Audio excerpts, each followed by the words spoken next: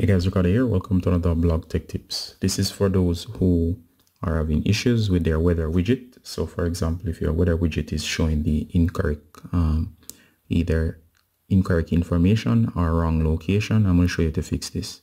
Now, of course, please note that your weather widget does in most cases will automatically pull your location data. So in cases you wanted to pull your location data, go ahead and make sure that your settings for your location data is on. So go to settings.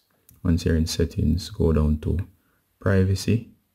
Make sure location is on. Now, make sure location is on. Now mine is on.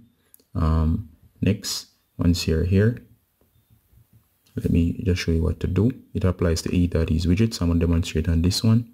If for some reason it's wrong or you do not like what you're seeing, you can actually customize what location is shown. So to correct that, just simply go ahead and long press, hit edit widget. Once you hit edit widget, here it says location. By default, it's on my location. But of course, if you want to change it, go ahead guys and search right here for a location. So for example, I could say um, Washington there you go. Notice it's showing Washington DC so if I go ahead and tap Washington DC it will be added. And of course I could just go ahead and choose a location. Fort Lauderdale um, Florida selected. And of course once I do when I tap it will update and you'll get the weather for Fort Lauderdale.